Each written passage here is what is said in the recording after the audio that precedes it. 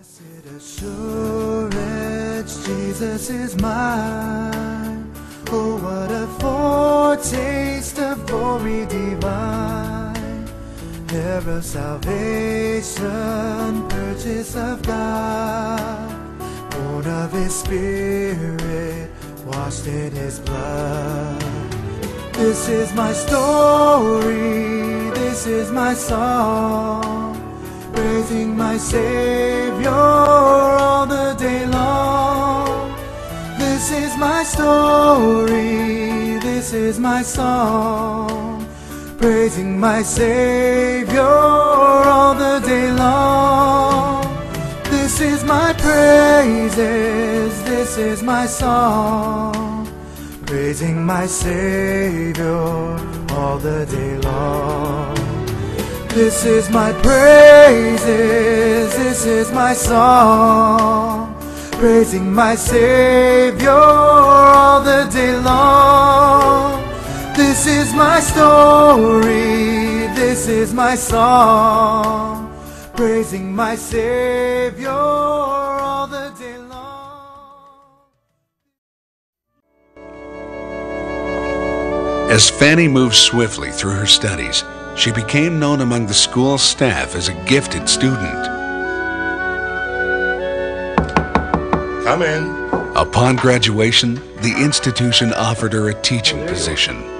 At the age of 22, Fanny was put on the school's payroll and began to instruct young minds on the wonders of rhetoric and history. This posting not only gave her a respected place in society, it also gave her a platform from which to recite and circulate her creative verse. Oh, such joy in thee.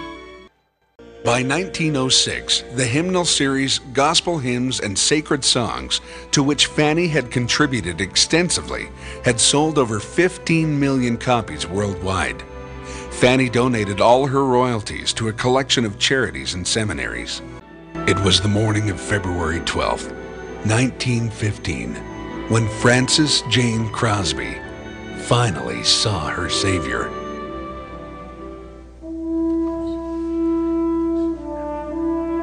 Fanny's funeral was the biggest Bridgeport had ever seen. People lined up for blocks to view the coffin, and many dignitaries and politicians attended. Fanny had insisted on a simple grave, preferring the money be used to help the poor and needy. Initially, her small gravestone carried the terse statement, She hath done what she could. In 1955, the citizens of Bridgeport replaced the stone with a more fitting tribute.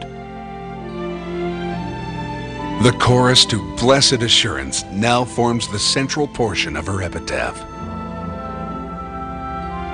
Fanny Crosby had never shown resentment or regret about being blind, or even about the charlatan who took her eyesight from her in her infancy.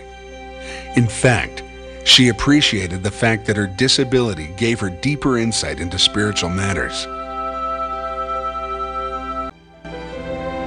The last verse she wrote was not one of a despairing and dying woman, but a joyful, hopeful saint.